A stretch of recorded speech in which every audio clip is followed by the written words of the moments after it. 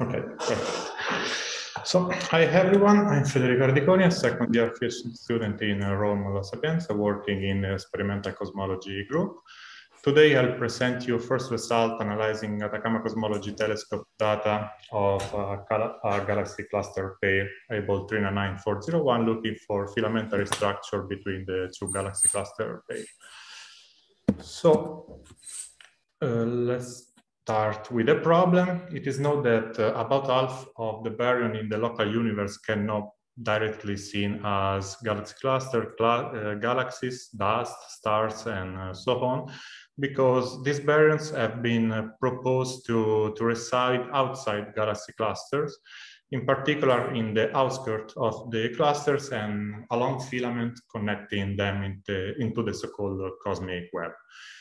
In particular, these, um, these baryons must be in the form of hot plasma in a very low density phase. So they are very difficult to be observed, for example, with them X-ray emission, because X-ray luminosity depends on the square of the electron uh, density. So being these baryons in a very low density phase, their X-ray emission is very faint, and so it's very difficult to detect their imprints.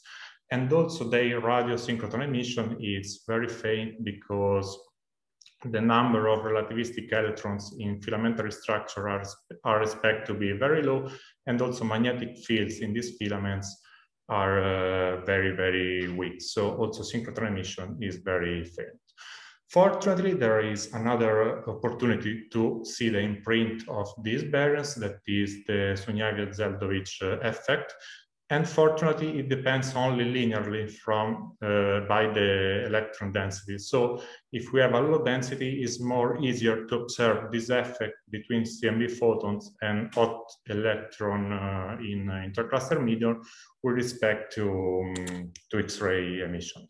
So what we are looking for is a couple, uh, a pair of galaxy cluster at low redshift that can be observed with instruments like the Atacama Cosmology Telescope reaching a resolution of uh, some arc minutes. In particular, uh, the system composed by Abell 399 and 401 is the perfect uh, science case for uh, our situation because it's a low redshift cluster pairs. And in the last year, uh, in the system, have been observed an excess of emission between the two galaxy clusters. For example, here on the right, you can see a LOFAR image at 130 megahertz with uh, 80 arc second angular resolution.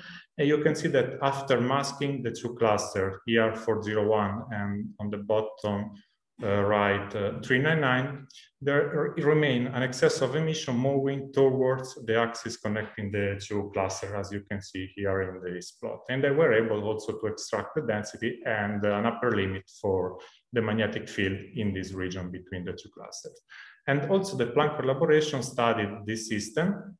And uh, after subtracting the two clusters from the Compton Y map that has a resolution around seven arc minutes, they found an excess of emission between the two clusters at a level of 2, 3 sigma within uh, this region that unfortunately it's only 2, 3 beam of uh, Planck. So we would like to study again this system, but with an instrument which has an angular resolution uh, much better than the Planck one. And for this, we use uh, Atacama Cosmology Telescope uh, data that uh, can reach an angular resolution of the order 1 to arc minutes at three different uh, frequency bands that are 98, 150, and 200 uh, gigahertz and being this instrument uh, on the Atacama cosmology, uh, the Atacama Desert, um, it's able to reach also sensitivity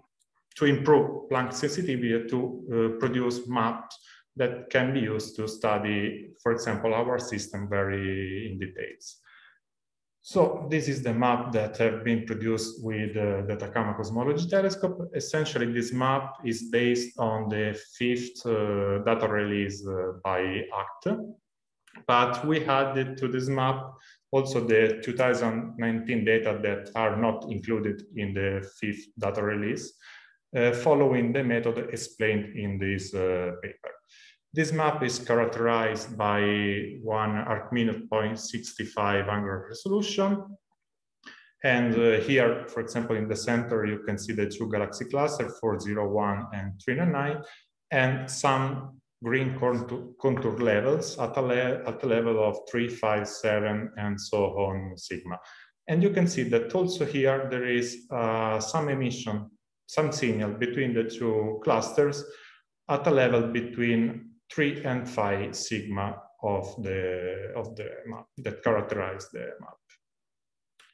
The region that here I highlighted with the dashed blue region is the one that we will fit in the, as I'll show you in the next slide, while the external eight feet have been used with exception of this one in red because there are there is some contamination by dust to extract the correlation between pixel and so to build uh, the covariance matrix that we will be used to estimate the covariance, um, the likelihood during the fitting process. And then on the bottom left of the map, you can see the comparison between the 1.65 arc minutes resolution of, of ACT and the resolution of Planck that is of the order of seven arc minutes. And here I show you a zoom in of the previous image where um, on the dashed blue region, and this is the map that we use to fit the two galaxy cluster and the signal between uh, them. We overplotted also the R500 of the two clusters that have been measured fitting the, um, the two clusters as I show you in uh, some slide. So what we did is to start from the previous map and fit four different models to take into account also the emission from the two clusters and also the signal between uh, them. We uh, run four MCMC algorithm bas um, based on uh, a Python implementation emcee. Uh, here you can see the reference for this uh, implementation of the MCMC algorithm. And to fit the Galaxy cluster, we use uh, uh, two generalization, generalization of the of the beta profile, the circular one, the spherical, that is described by this equation. And uh, then we introduce also a term of asphericity, simple replacing this ratio between the generical distance and the core radius of the cluster using this equation where we introduce the ratio between the minor and the major axis of the, of the cluster.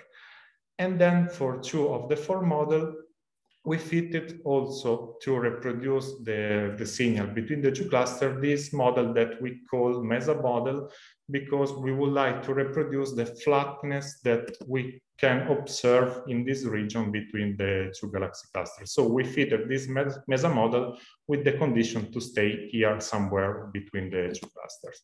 And as you can see, there are no um, physical a priori meaning for this formula, but it's simple, Uh, an equation that is able to reproduce the flatness of the, of the signal between the, the two clusters to reproduce sharp edges and without using a lot of free parameters that make the fit slowly convergence. So to, to be sure, the four model are two elliptical beta model fitting only the two clusters, three elliptical beta model for, for the two clusters and the signal between them, and then two circular beta profile plus the mesa between them, and two elliptical plus the mesa between them. We run the model, uh, the fit until the convergence, here we I show you um, the best fit parameter for the for fit. And on the right, there is a subsample of the posterior distribution for what we think is our best fit, so elliptical, two elliptical beta model plus the mesa between them. And you can see, for example, the expected degeneration between the beta and the core radius of the two cluster and the amplitude of the filament. So we have around a seven sigma detection. And then on the left, there is also the 1D slice passing through the center of the two galaxy clusters that here you can see the MESA model with the typical flatness. And then on the bottom, the residual. And as you can see, most of the points are zero compatible within one sigma that is indicated here with the gray area. Here I show you some residual for three of the four models, so the two elliptical beta profile and without fitting anything between the two galaxy clusters, you can see that there is some excess of signal that has not been fitted. Then the two elliptical beta profile plus the MESA, and you can see that here the signal is compatible with what we have outside, so it's essentially uh, noise. In fact, in fact, the reduced chi square is one. And then we have three elliptical beta profile. So we derived from our best fit the mass of the MESA, the mass of the two cluster. We found that the mass of the MESA is around 8% of the total system. Then we derived the, the size of the MESA on the plane of the sky, and it's 2.3 by 1.9 megaparsec, where 2.3 is along the line connecting the two clusters and 1.9 along the transversal line. And then combining the amplitude of the MESA at its center with X-ray measurement, we were able to measure the thickness of the MESA along the line of sight, we find this 12 megaparsec that is much bigger than the dimension of the MESA on the of sky. So this means that most of the system lies along the uh, line of sight and not on the plane of the sky as it was assumed in a previous study. So we built this simple toy model, assuming that uh, in the reference frame of the two clusters, the true thickness of the filament is equal to the width of the MESA on the plane of the sky. And we were able to measure the uh, angle between the line of sight and the axis connecting the two clusters that was found to be 70 degrees. So using the total separation of the cluster on the plane of the sky that is 3.2 meg megaparsec, we were able to extract the total separation, the physical separation between the two clusters that was found to be around 11 megaparsecs, so much larger than the two radii of the two clusters. So only with the cluster, we are not able to explain the signal that we have between uh, them. So we need something else that can be a, the filament we expect to, to have found. So to conclude, this study will be soon be publicly available on the arXiv as submitted and will be also submitted. And then we have other ACT data that are unprocessed for the moment that we plan to use to look for shock in the region. And we have also Mustang 2 data that we would like to combine with ACT to, to look for shock with high uh, angular resolution.